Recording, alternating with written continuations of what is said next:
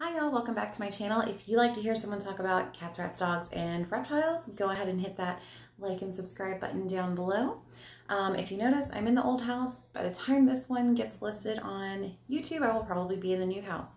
So what I ended up doing was get tired or got tired of only posting videos once a month, once every month and a half while we were in the process of doing getting this house ready to sell and the new house ready and all of that. We're kind of at a standstill right now. So every day I have filmed a different video and I have posted it and scheduled it to upload. So what's gonna happen is we'll probably be like a month behind um, when we actually move, maybe a little bit longer, and uh, before you start seeing the moving the animal videos and things like that. So anyways, back to today's video. Um, it's actually one of the most requested videos I've had. For some reason, people love it when I talk about my rats on this channel. So Oreo and Suki are my rats. I've had them for in April 2021. It will be, they'll be three. So I've had them for quite a while now.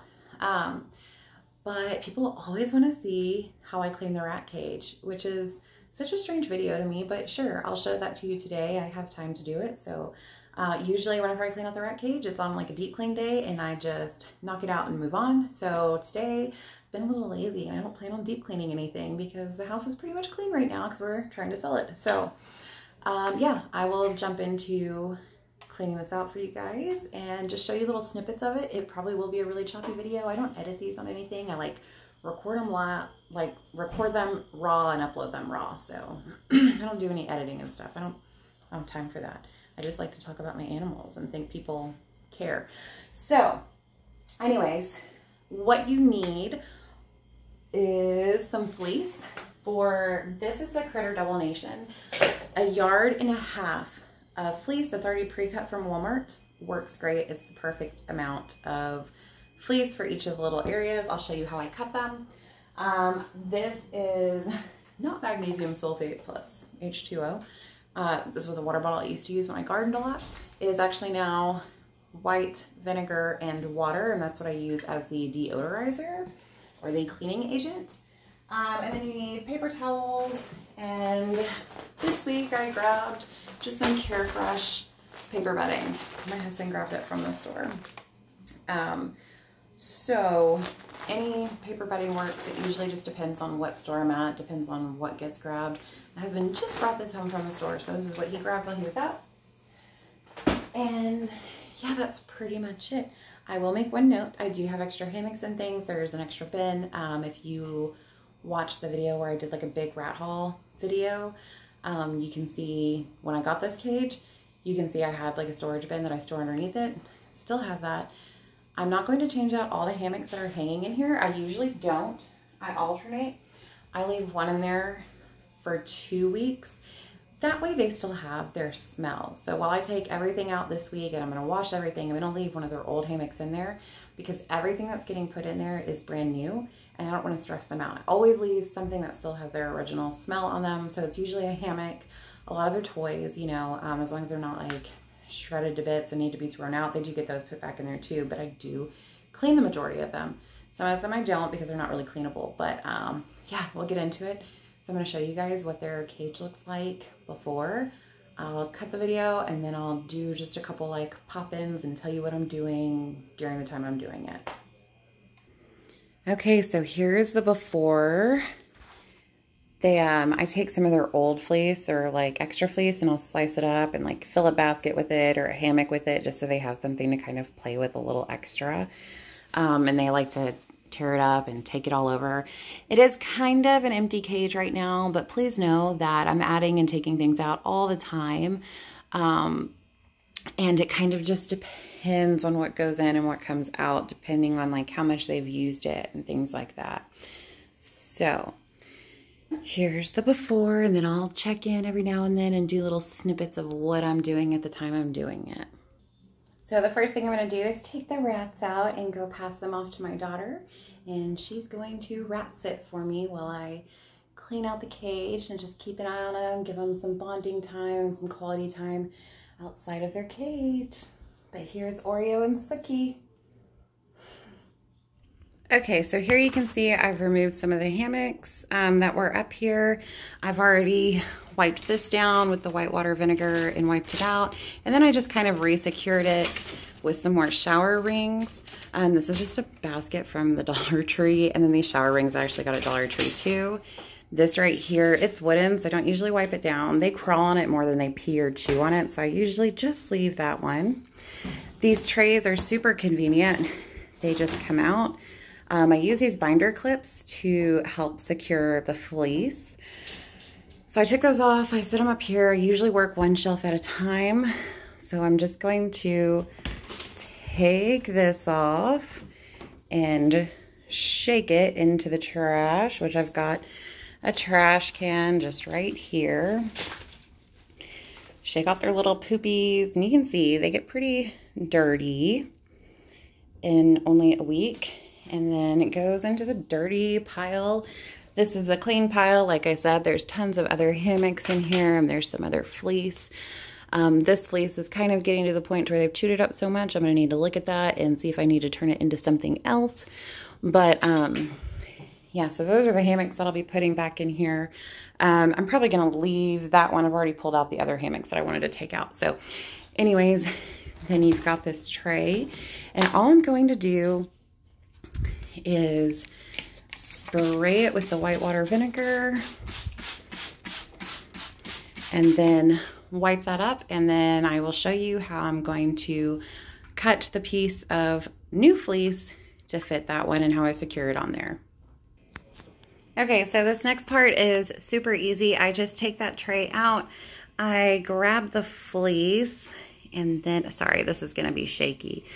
Basically, I throw the fleece over the top, and then I cut around it. So, ignore my gross feet if you just saw them in the previous little bit of this. But, um, yeah, so the fleece is laid over the tray and then I'm just going to cut like here's the end of the tray. So I'm going to cut like right here all the way around so it has room to fold over and then be clipped back down.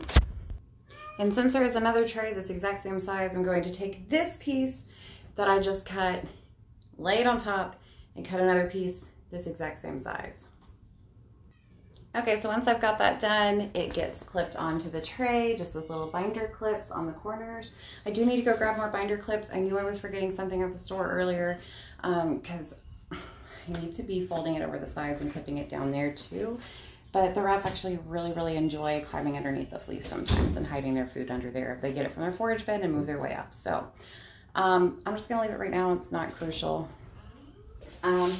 And then you just slip that and put it right back on place. And you do that with the rest of them. Okay, and as you can see back here behind me, I've got a couple more hammocks put up here. Um, their baskets fixed. This is staying. Little chews and stuff are staying.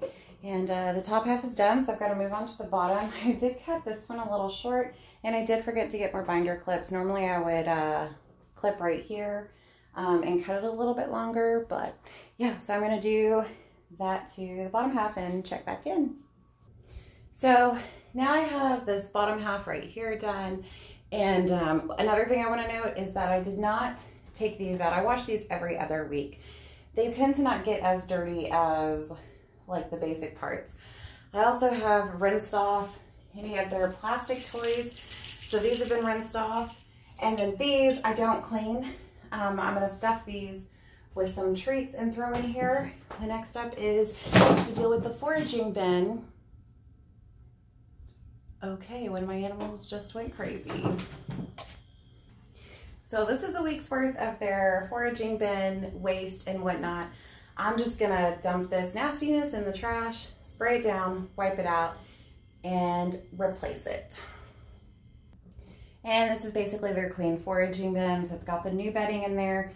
I've mixed in some food in there and a few toys and chews in there as well.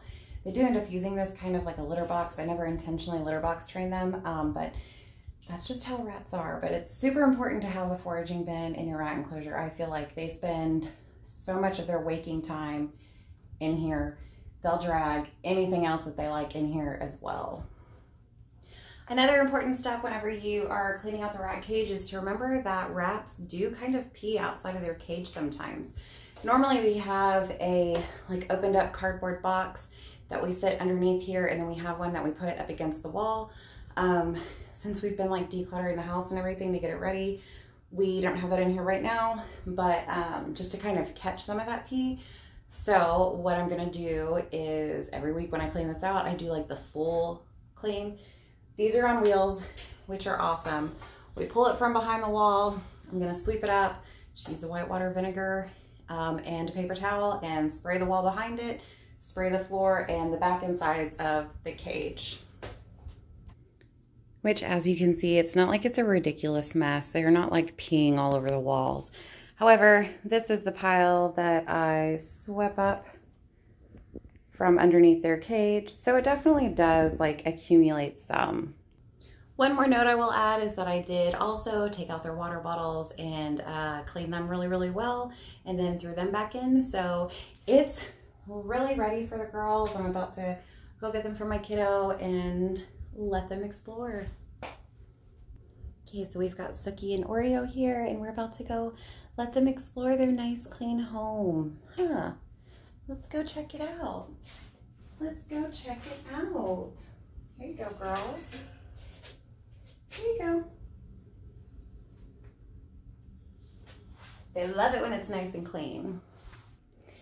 And that is the video today. Sookie and Oreo, thank you for watching it all the way through.